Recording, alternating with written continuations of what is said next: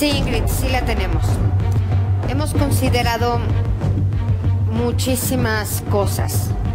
Hemos considerado el desempeño, hemos considerado eh, el compromiso, la musicalidad, hemos considerado el avance que cada uno de ellos ha tenido en el transcurso de los conciertos de todas estas semanas. Ok, ¿y cuál es su decisión? El ganador de este duelo y, y por tanto finalista de la Academia Kids Lala es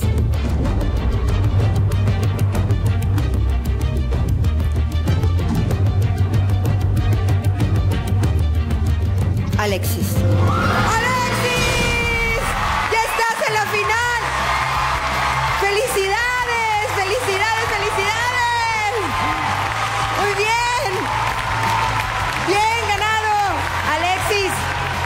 Es momento que vayas con tu mami a celebrar.